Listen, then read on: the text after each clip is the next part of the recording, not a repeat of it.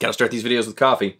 All right, so now that I've sufficiently fogged up my glasses, we're going to dive right in and pick up in our series on producing a rock record with Nate Washburn with part two of drum tracking. And I split the drum video into two parts because Nate and I had such a good lengthy conversation and there was just tons of good content in there that I didn't want to cram it all into one video and end up making it something that was just too long to, to watch and too long to digest. So we're going to pick up and we're going to talk today about drum tracking and there's a lot of stuff that we covered in this that has to do with you know should you use plugins while you're tracking and what kind of plugins does Nate use while he's tracking a band and you know what is the tracking workflow? What does he do when he's tracking? What are the kinds of things that you say to a drummer that's maybe not nailing the part while you're working through the song with them and how do you get a really good powerful punchy performance for a rock song without having to rely too heavily on maybe editing tools that could kill the vibe. But then also, how do you get the drums to sound big and punchy and powerful without them sounding choked because you're hitting them too hard? We're going to talk about all those things, and it starts right now in this second part of Tracking Drums with Nate Washburn.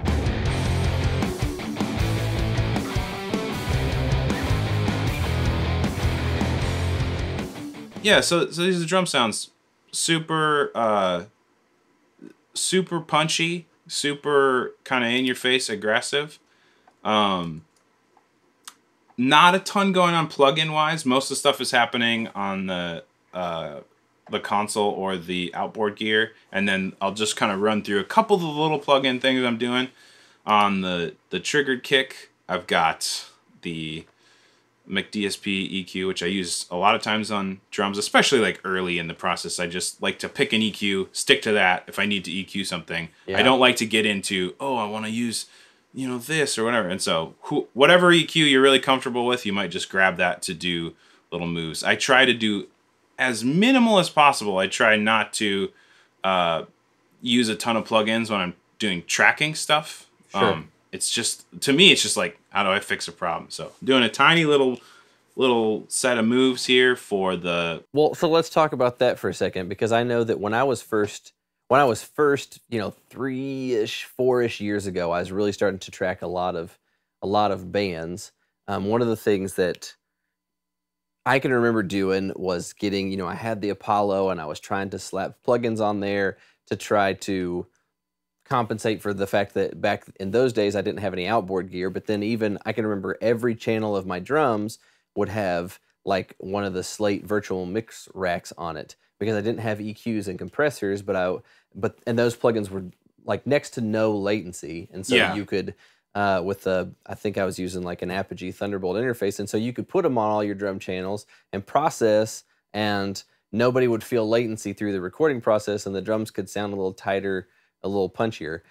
What I want to know is when you're going to go through and you're producing a song like this with a band, if if at some point when you're getting your sounds before the drummer is doing his whole performance, instead of slapping a plugin on, if you're feeling like, oh, the kick drum doesn't sound right, or mm, the, the, maybe one of the toms doesn't feel right, are, are you approaching that with, what do I have that I can patch in that's outboard gear that may fix my problem, may fix my problem, or um, are you going i can just fix that later on and it's not that big of a deal. I mean how are you making that decision? I guess to start off with with using plugins when you're tracking uh, this is not a blanket statement of oh i'm against this. Part of the mentality is that i don't i don't need to use them uh, especially if i'm working here i don't need to use them this is all the gear i'm really comfortable with um, I've got a console to EQ on, and the I can drive the preamp, and it sounds great. So that that plugin stuff you're doing is that sure, right? Yeah, like right. so, I don't have to do it because of that reason.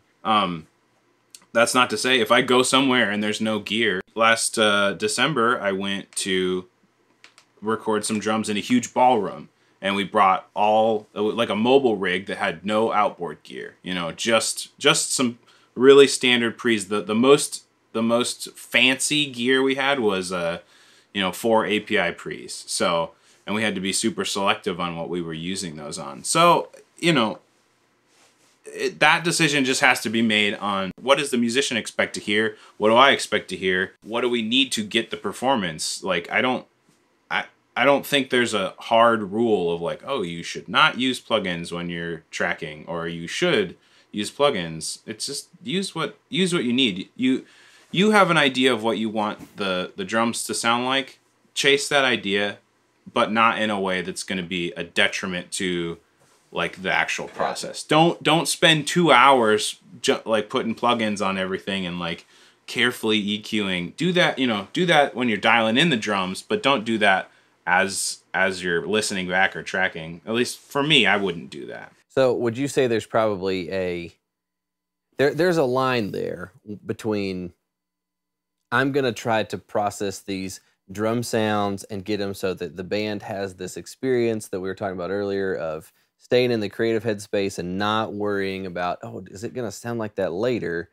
And also you could for sure go way way left of that and and be too far in to where you've spent hours and hours trying to get this like really polished drum sound to avoid those kind of comments. If you have a less than optimal situation, like you're not recording in an amazing sounding room with a bunch of really awesome gear, then take a little time, maybe just on your own or with a friend or whatever, and like figure out what like a quick workflow. You know what I mean? Yeah. I think workflow is the key here. I have a workflow that doesn't include running a bunch of plugins. So that's what I stick to. Sure. Um, and if if your workflow does include that and it and it is efficient and you are like working really quickly and and able to focus on the important stuff which is the performance of the drums and uh, you know the feedback from the the band or the other musicians that's the stuff that needs to be focused on. So if you're whatever your workflow is just dial it in. And so for me the dialed in workflow is working on the console and the outboard gear getting the sound of the drums right, and then making little adjustments as I'm tracking the drummer. In this case, the drummer was me, so I didn't get to do that. Okay, so let's talk about the. There's there was a little issue with the overheads.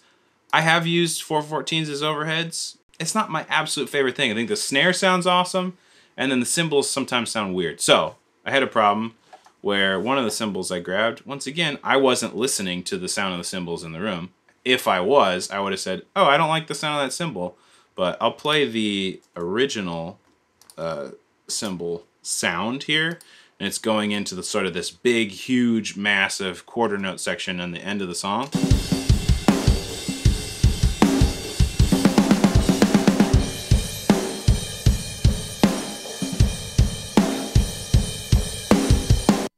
So you can kind of hear that cymbal. It doesn't sound awful, but especially when I have it turned up a, a decent amount, there's little frequencies that are like little whistle tones and stuff that bother me a lot. And so I ended up grabbing this EQ here, doing some real dumb, ridiculous, like carving out of the stuff that was bothering me. Didn't particularly like how these these moves sounded on the rest of the cymbals and the rest of the overhead. So I was like, okay, I'm just gonna print that section just that was the one section of the song where I was riding on that cymbal. And so I just printed it with the EQ. Is this what will end up in a mix of this song? I don't really know. It, I could automate this stuff. I could do a, a lot of other things. But the solution for me, like I said, efficiency was the key here, was okay, I'll print the EQ. I don't have to think about those little frequencies that are bothering me. So it doesn't sound drastically different, but you can hear it here going into that section.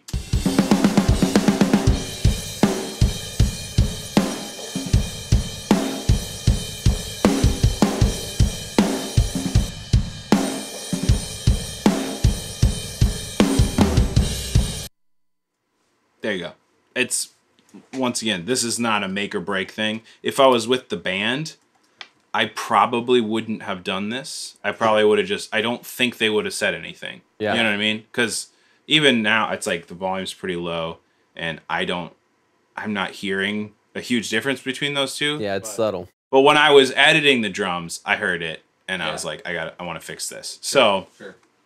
yeah, just some little detail.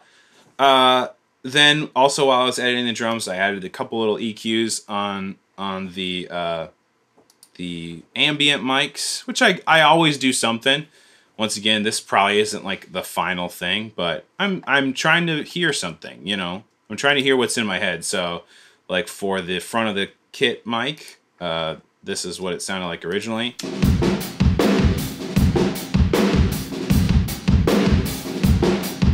Sounds great. Uh, when when we're slamming the cymbals a little bit more, pretty washy. It's pretty washy, but even at the volume that we're listening to, I'm hearing the cool tail of the of the room. You know, um, and that's the, is that the one that I was compressing pretty hard with the distressor? Is that the Fathead? Yeah, the two the two mics I EQ'd were fatheads. Um, and yeah, so I just did a little EQ move where I pulled out some mid range, kind of bumped up where I felt like the snare was cracking a little bit, and then you know did just I don't know. This is a typical. This is a typical room mic type move I might do. Sure. Boost a little bit of the like low end eh, while taking out the low mids, and then you know pulling down the the real subby stuff, and then like doing a a, a big. Oh, it's not even that big. It's like maybe where where. Okay. Yeah, it's like four dB, just pulling off some some of the top, very top end of the cymbals. Kind of the same move. So these are the typical things that you would do to kind of to kind of get the song ready to start tracking other stuff to. But what I want to do is kind of back up for a second and talk about the things that you're doing when you're, you know, if if you were actually producing this song, you played on it, so it's going to be a little bit, you know, you, you're going to have to think a little bit outside of yourself and what you did. But you got a drummer that's playing on this song. As the producer, what are you doing in the chair to get the take and the performance that you want for this kind of a an aggressive rock song?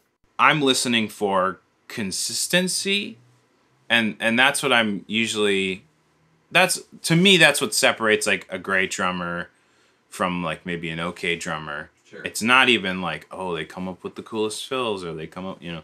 A lot of it is just like do you hit your snare like really consistently? Do I do I hear like that same big crack on nearly every snare hit that it needs to sound like? Yeah. Um, and the kick is the same way. Sometimes, like on faster kick sections, the kick just flubs out. So do you find yourself saying those kind of things to drummers sometimes? Like tell you you you Yeah. coach them through like, can you hit that harder?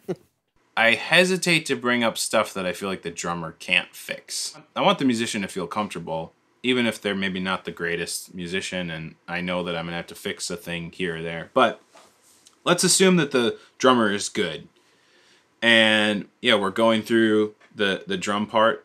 There may be some little arrangement things I change, like oh, okay, we have a nice big open first section. What is the bass playing? Are you are you lining up your kicks with what the bass is doing? Is the bass going to line up to you? Is this going with the vocals? Is sometimes you don't know all that stuff. So like that kind of goes way back to preparing for the session. You know what I mean? Having some ideas. A lot of times I'll just have the the band I'll just drop in whatever their demo is or whatever their pre-production is so we can reference it and I can say, well, I don't really think this is the right kick pattern or I don't even think this is the right drum part. But aside from those things, I want them to hit the drums consistently and in a way that's right for the song. If it's a big, aggressive rock song, yeah, just really lay into those things and, and Yeah. give me the like, you know, like a musical, hard hitting performance. Yeah. You know, because there is a difference between just I hit the drums as hard as I can and I'm hitting the drums in a musical way. So, and that stuff takes, you know, some drummers do that naturally and some don't. And so, yeah, just like coaching the drummer in in in some direction to try to help them. And I have the benefit of playing a bunch of instruments, playing with so many bands and so many musicians over my lifetime, and even playing in some like academic like music situations, you know, like orchestra, band, that kind Yeah. of stuff. So I want to just ask you one more question to kind of close this out here is that what do you do when you're pushing a drummer to do these different things that you're talking about and you start to sense that, you know, maybe you're four or five takes in and he's starting to get really frustrated with where you're at with the song and, and the parts that you're working on. Maybe he just can't get something or maybe he just doesn't feel like it's right or or you know, there any number of reasons he could be frustrated. What Yeah. what are you doing as the producer to try to help him get to the finish line? I'll try to approach it in a way that highlights the importance of like getting a good drum sound. Yeah. um, and but without without sort of making the drummer feel bad or whatever like i might say like i think this is good enough that i can edit it and it will sound great Mm-hmm. You know, and the drummer might be disappointed that maybe he did he couldn't nail something or whatever, and we had to like really punch like punch in a little micro section or whatever. Um, and some drummers are experienced and they get that that's how that goes. Like they're not not everybody's a studio musician, yeah. you know. Um, but yeah, I, I try to to frame it as like, hey, it's really important that we get a good drum sound, and it's also important that we like respect everyone's time. So there's an element of me sort of maybe explaining like we we need to do this this and this to get this song where it needs to be.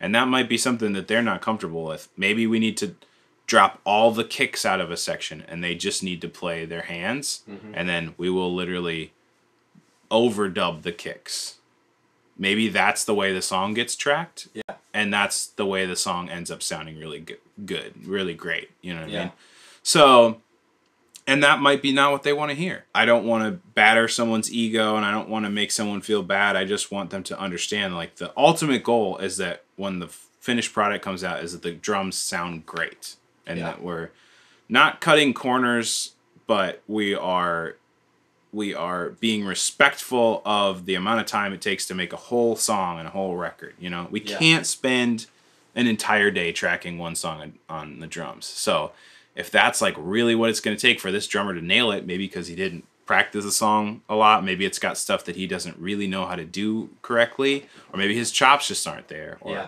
whatever. That's the kind of stuff that if you come to the studio and you don't have that prepared, there will be some there'll be a reality check. So, yeah, yeah. but I always want to be respectful and, and I understand what that's like. So that's kind of how I would approach it and just say like, hey man, like I really want this song to turn out great I really want the drums to, to, to turn out like incredible, but right now it doesn't seem like that is going to happen just by running a take of the song. Yeah. Well, take us out by playing a. I want to kind of get people pumped up at the end of this video for what the song is going to sound like. So play us like a maybe a 15 second section of the song just to round out the video, and uh, that way they can hear some of what we're getting ready to check out with the bass and the guitars against the drums.